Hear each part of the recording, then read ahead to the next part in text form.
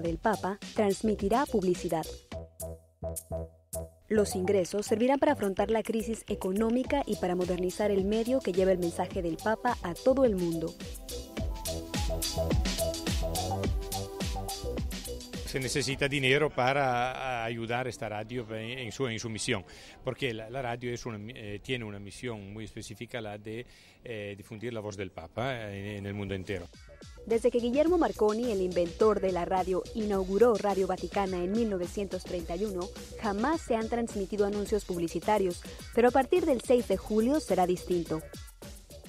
Hasta ahora no se hizo porque parecía que no era una radio tan, tan solemne, solemne, tan oficial, eh, mejor hubiera sido que no tener publicidad. Siendo publicidad institucional de unas cuantas administraciones muy serias y muy conocidas, esto puede dar una ayuda para la vida de la radio. È una collaborazione che nasce... Se trata de una colaboración para ayudar financieramente a Radio Vaticana, porque hasta ahora esta radio no había abierto las puertas a la publicidad. Enel, la compañía de electricidad más importante de Italia, será la primera de muchas empresas que se anunciarán en la radio del Papa. Eso sí, todas deberán cumplir los requisitos éticos que pida el Vaticano. La publicidad será emitida en cinco idiomas y espera que aporte entre 100.000 a 200.000 euros al año, una buena ayuda para esta radio que tiene un presupuesto anual de 20 millones de euros, emite en 47 idiomas en los cinco continentes y en la que trabajan 400 personas de 63 países.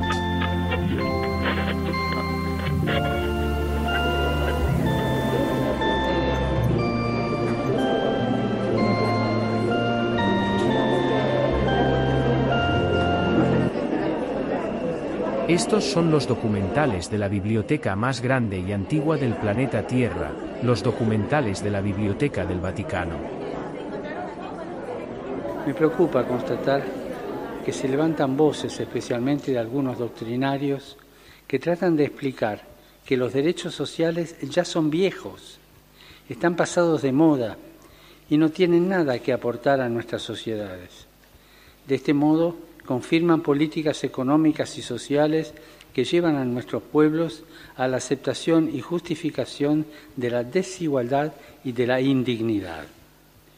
La injusticia y la falta de oportunidades tangibles y concretas detrás de tanto análisis incapaz de ponerse en los pies del otro, y digo pies no zapatos, porque en muchos casos esas personas no los tienen, es también una forma de generar violencia, silenciosa, pero violencia al fin.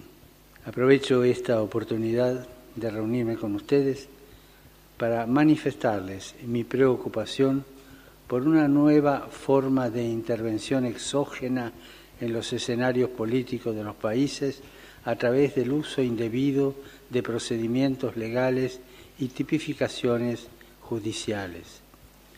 El lawfare, además de poner en serio riesgo la democracia de los países, generalmente es utilizado para minar los procesos políticos emergentes y propender a la violación sistemática de los derechos sociales.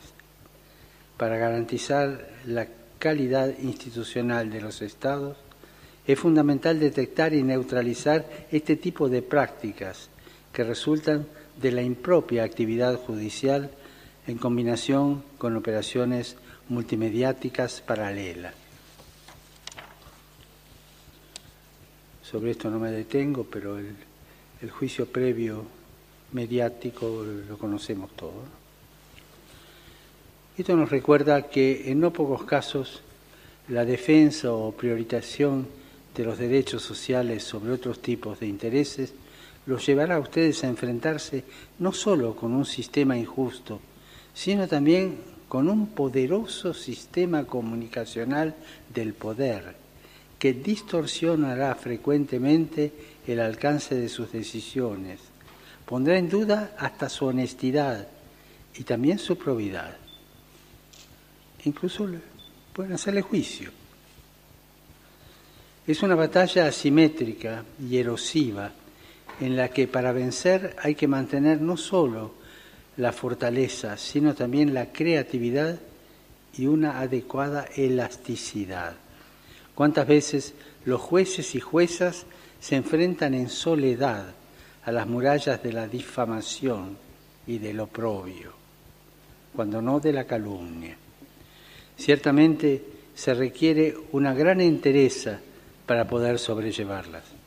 Felices los que son perseguidos por practicar la justicia, porque a ellos le pertenece el reino de los cielos, decía Jesús.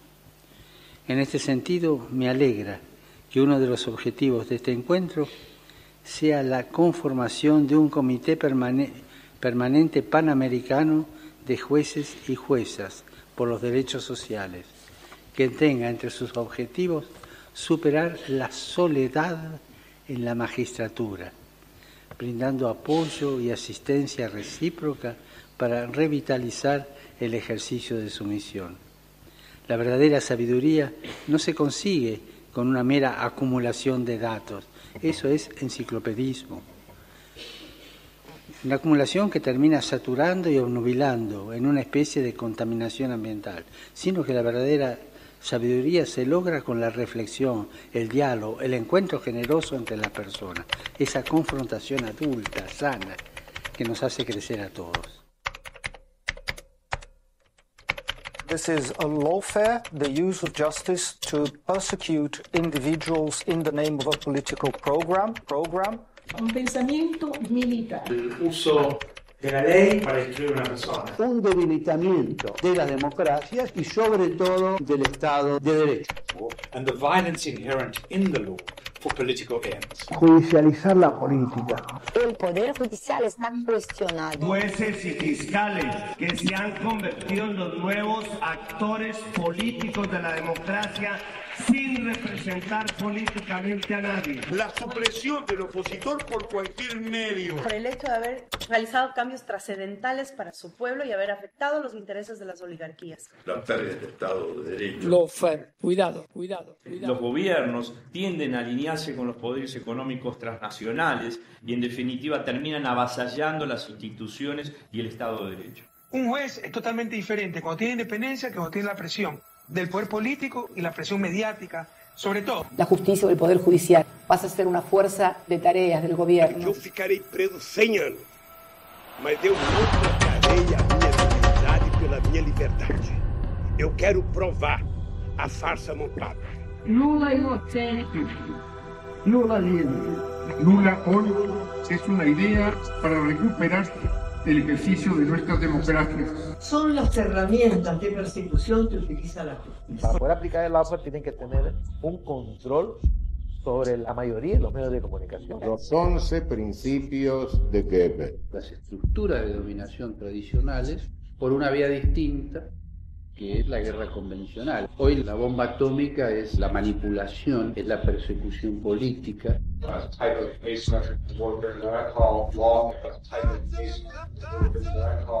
Cuidado, cuidado, cuidado. Con presos políticos y sin garantías mínimas.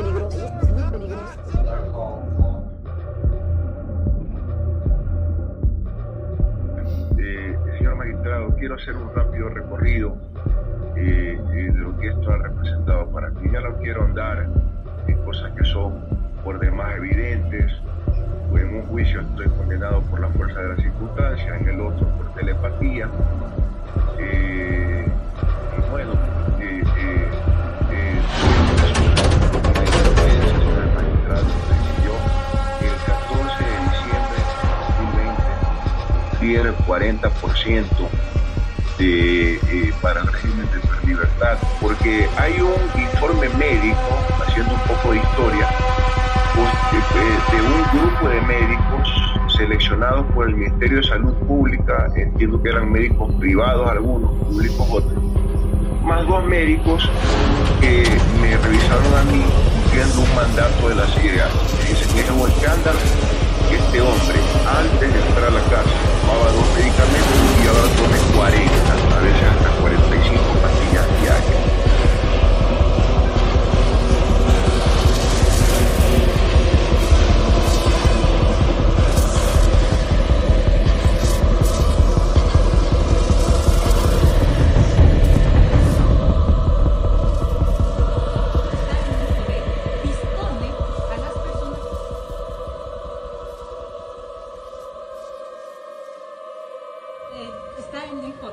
dispone a las personas que ejecuten una disposición.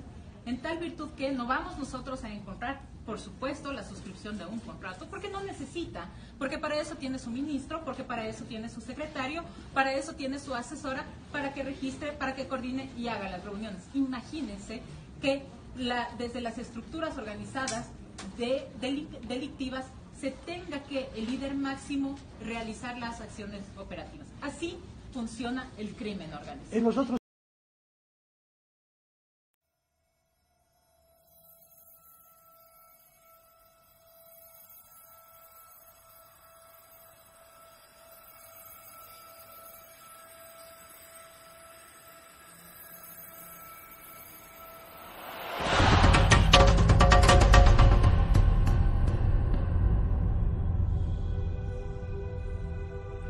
piden 12 años? Uno por la memoria, el otro por la verdad, otro por la justicia, otro por el fondo, otro por el CFJP, otro por IPF y vaca muerta, otra por el no endeudamiento, otra por el salario de los laburantes. Cuando me fui, los laburantes se llevaban el 51,8% del PBI y el resto era para los empresarios. Ahora ni hablar de cómo estamos.